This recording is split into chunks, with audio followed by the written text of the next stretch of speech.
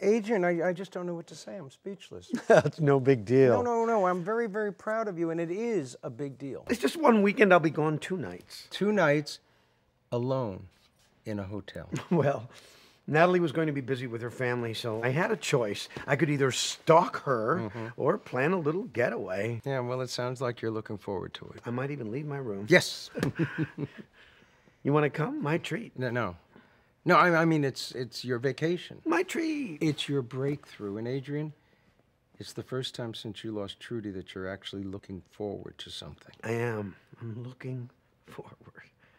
You know, there's a there's a term for this. It's called affirmative reflex, and it's a very, very big step.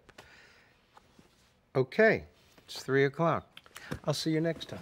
I will see you Wednesday. Uh, whoa, whoa, whoa, whoa, whoa. I was thinking maybe we could uh, eliminate Wednesday and just have you come Monday and Friday.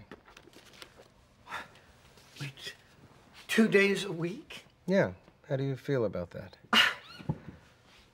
I don't know what to say. That's only twice as much as a normal person. How many times does Harold Krenshaw come? Adrian, you know I can't talk about another patient. I'll bet he comes three times a week. Loser.